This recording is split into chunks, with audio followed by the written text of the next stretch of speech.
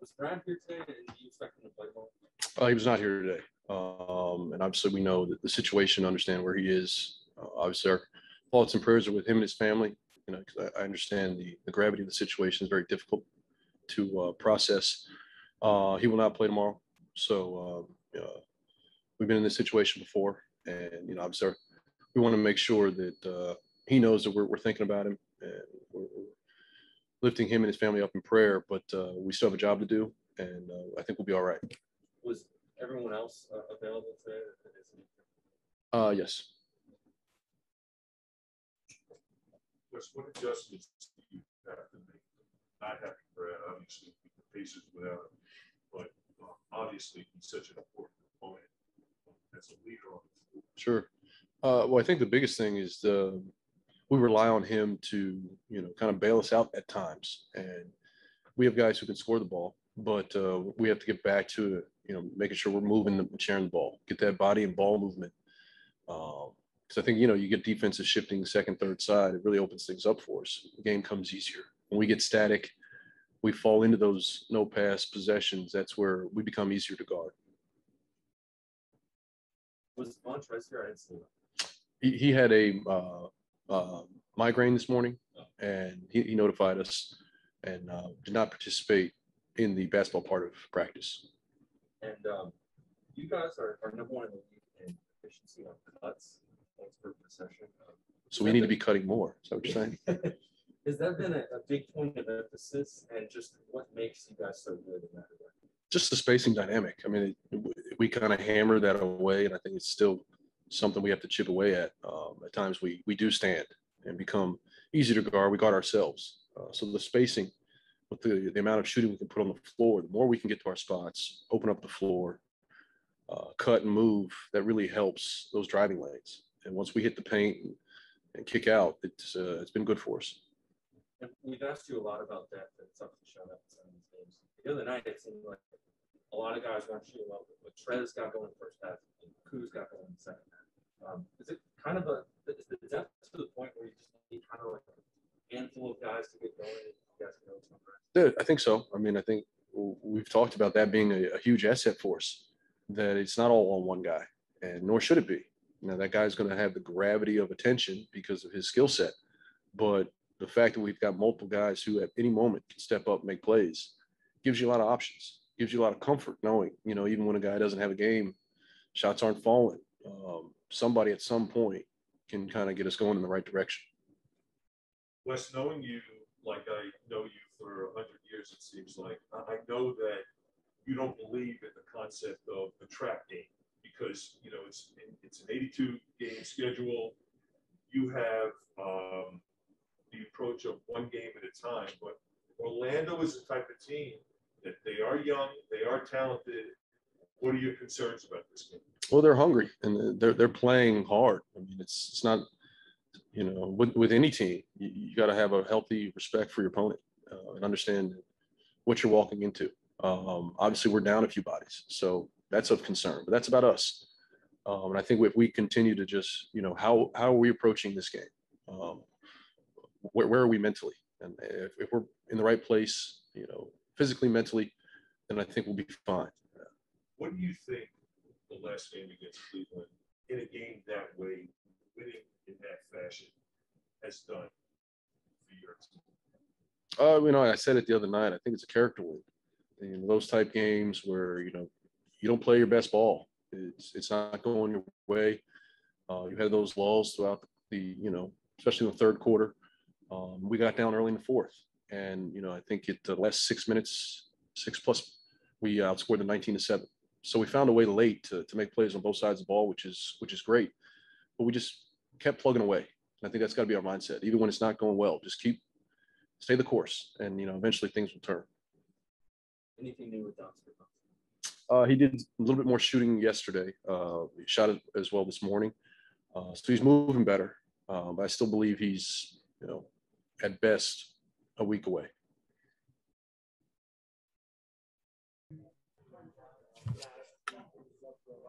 All right, coach, we'll head over to Zoom. Take a question from Neil.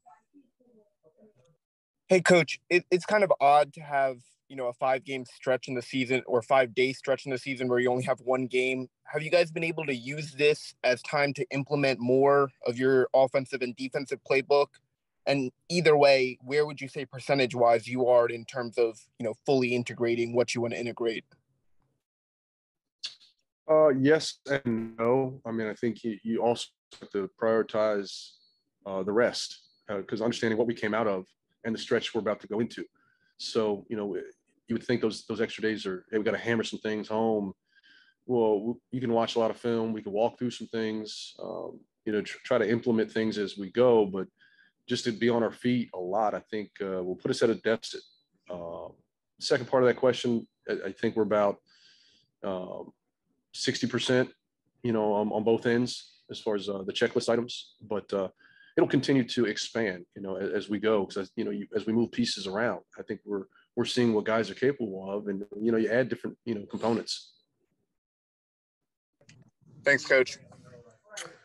Christos? Hello coach. How are you? Good. Great uh, i would like to ask you what was the biggest takeaway of the the game against the cavaliers uh, speaking about your defensive effort I thought the defense was solid. Um, you know, we we were in uh, drop coverage quite a bit throughout the night, um, and at times it was good for us. At times, you know, uh, we had to make adjustments.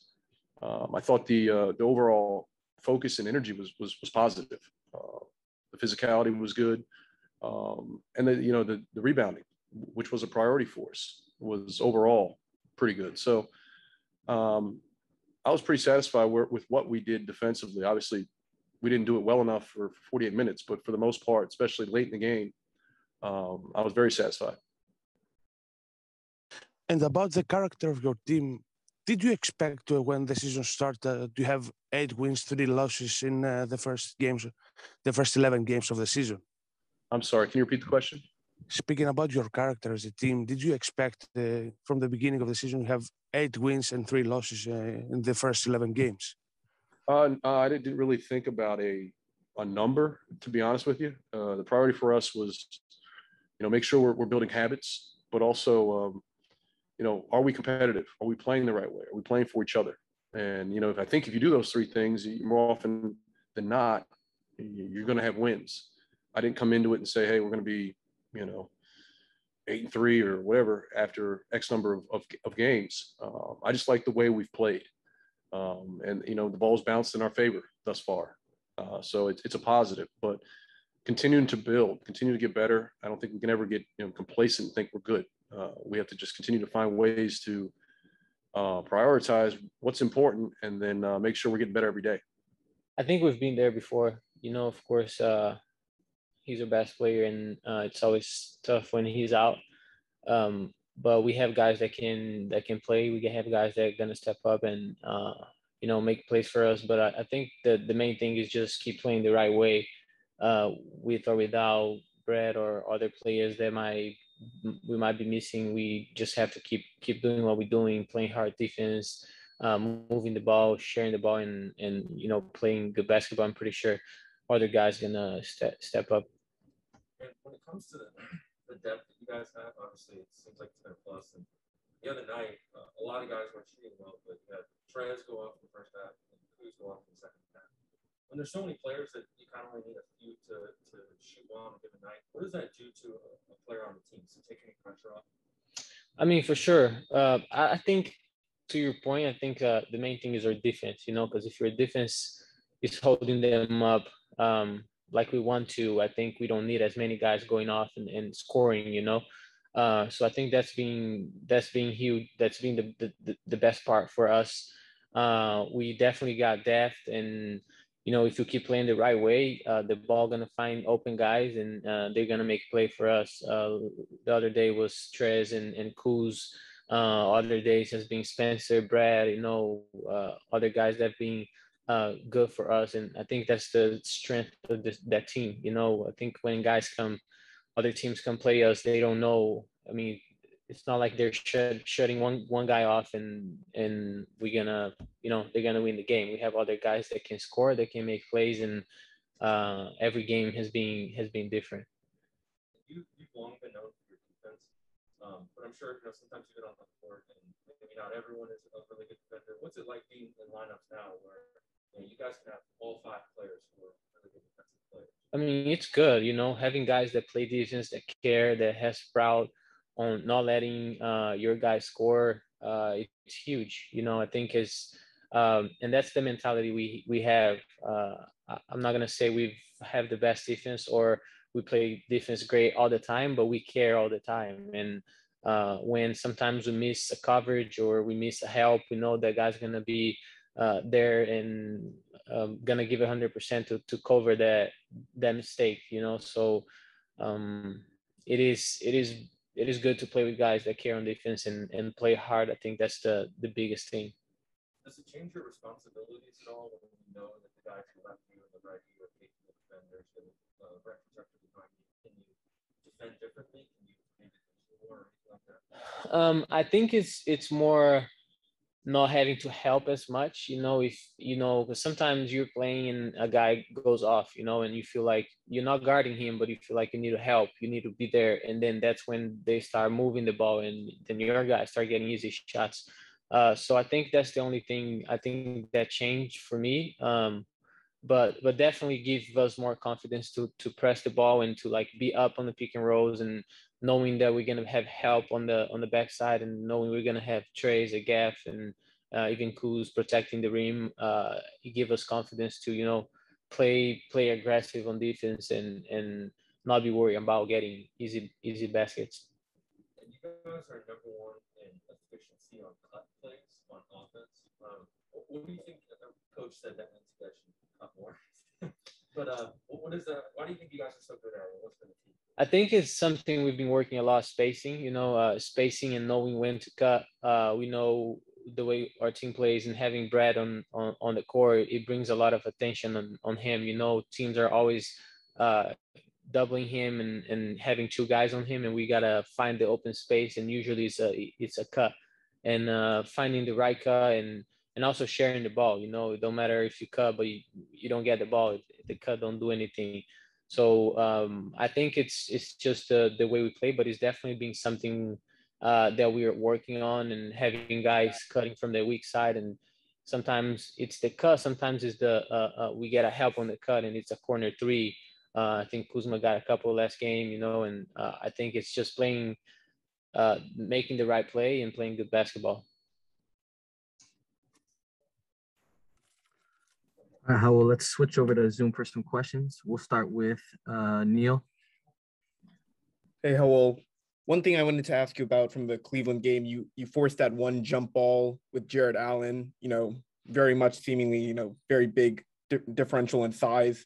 I guess where does that mentality come from for you to just you know always scrap and fight no matter you know how difficult the challenge may pose? Um, I think it's just uh, playing hard defense. You know, uh, I think if I remember well, the way that happened, I was um, I was on the help side and they throw a, a, a lob for him. I kind of got into his body and end up uh, having the jump ball. I didn't have much to, to do on the jump ball. You know, I if I I don't think I even jumped, but um, I'm sure that I made the right play and you know not letting him score easy ba- basket was uh was a good play for us. And it happened. He, he didn't even win the tip. Clearly, you guys got the turnover separately, and you know, I know you guys haven't had a super long road trip so far, but just compared to last season, is it easier for you guys to hang out as a team with hopefully less restrictions on what you guys are able to do so far early in the season? Sorry, I I, I was doing the mic. I, I didn't pay attention to your question. No worries. Have you guys been able to do anything on the road as a team to try and build that com- camaraderie that a lot of you guys have been talking about? Uh, yeah, we've done a couple uh, dinners, uh, most at the beginning of the season. Uh, I think once we start traveling and uh, playing that many games, uh, guys get tired, and sometimes you know they just want to chill in the room and uh, and not go anywhere. But uh, but we did a couple times. You know, uh, I think it's it's nice being able to go out to dinner and uh, know each other better uh, off the court and and um, you know get that. Um, that connection off court too. Thanks, Raul. Yeah. Christos. Hey Raul, how are you? Good, how are you? I'm fine, thank you. Raul, how from your perspective, how good are the Wizards this season? Um, I think we're pretty good.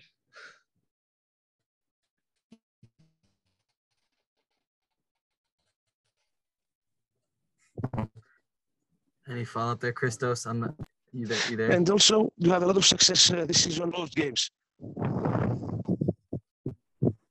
You hear me? Yeah, what was your second? Yeah, uh, you have a lot of success uh, during the, the first games of the season about the, the way that you close the, the close games. How could you explain that? Um, I think it's just having great, you know, uh, there's been a couple games where we're we're down most of the game and we just uh, stick to it. Um, like we like I was saying before, we have depth, so we have guys that can step up and uh, you know make plays for us uh, in the end of the game. Um, and it's not only Brett. You know already about Brett. He's a he's a clutch player. He will always make plays, but um, this year she's making play plays for other guys too. You know, uh, a couple games ago uh, he kicked out for Spencer for a three. The last game for Kuzma. Um, I mean the game against Indiana, Spencer got uh, uh, made some huge plays at the end. So you know, just having guys that can do that, uh, not only one, but having multiple guys that can do that, it's huge. And uh, at the end of the game, it's it's hard for the other team. You know who they're gonna guard and and uh, uh, having grit and staying focused and staying uh, aggressive to the end of the game. I think that's been the the key for those close games at the end.